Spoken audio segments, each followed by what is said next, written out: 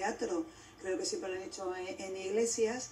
Y entonces yo creo que para ellos es esta oportunidad ¿no? de poder demostrar lo que, lo que saben, que es cantar.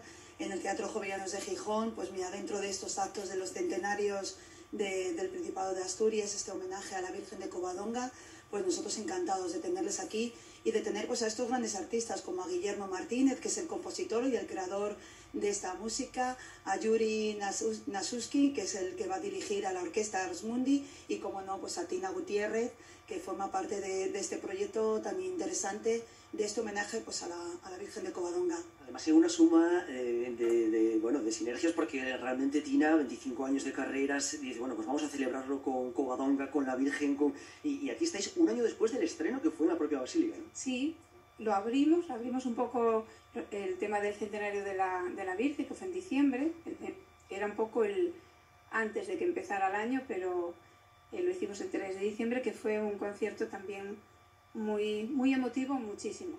Porque cantarle a la Virgen en el lugar es espectacular. Eh, y pensar que hasta dentro de 100 años pues no se volverá a, hacer el centenario, sería muy emotivo. Pero a mí también es súper emotivo estar en Gijón. Digo, una ciudad que me encanta, que me apasiona, que me encanta este teatro.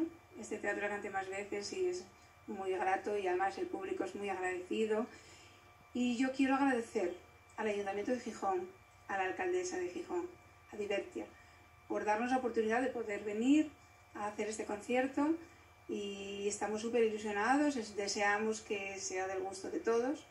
Y aquí falta una persona que es José Antonio Olivar, la persona que hizo la letra, la letra de, la misa, que vive en Madrid y bueno, eh, quiero hablar de él porque es alguien también muy importante de la obra estará viendo seguro en directo y si no ya le mandamos el enlace para que lo vea la Cata Guillermo en esa suma de voluntades. Tú que fuiste miembro de esa escolanía dijiste, me, uno y me sumo. Hombre, yo creo que era inevitable ser parte de, un homenaje como esta a Covadonga y además pues, pues contar con la escolanía de Covadonga es un regalo entradas ya vendidas muchas, pero quieran todavía en taquilla, hay que animar a, todo todavía, pero que se den prisa, pues es un evento especialmente especial. El poder vivir algo, algo así es una, una apuesta muy, muy eh, importante y diferente a todo. Entonces eh, recomiendo que si quieren saborear un poco de asturianía, un poco de sonido de gaita, de melodías asturianas a través de una misa, eh, o lo que son los movimientos propios de, la misa cantada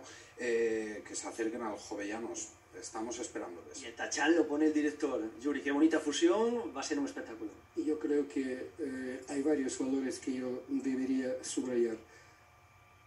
valores pedagógicos, porque aquí usted tiene la joven orquesta de cámara, que son jóvenes que crecen juntos con esta música. Hay una joven o infantil coro. Hay un público joven que sé que va a ver mucho. Y yo como profesor, como padre, incluso como abuelo, estoy contentísimo porque Covadonga para nosotros, yo soy medio ucraniano, medio asturiano, pues es un símbolo de unidad y la unidad es, ah, según mi modesta opinión, es ah, lo que nos falta, precisamente hoy el día no es nada, ningún descubrimiento lo que estoy diciendo, ustedes lo saben. Por supuesto que sí. Muchas gracias, director. Yo creo que es el punto y final fantástico. Queda tiempo todavía, ocho y media. A las ocho se abren las, las puertas del teatro.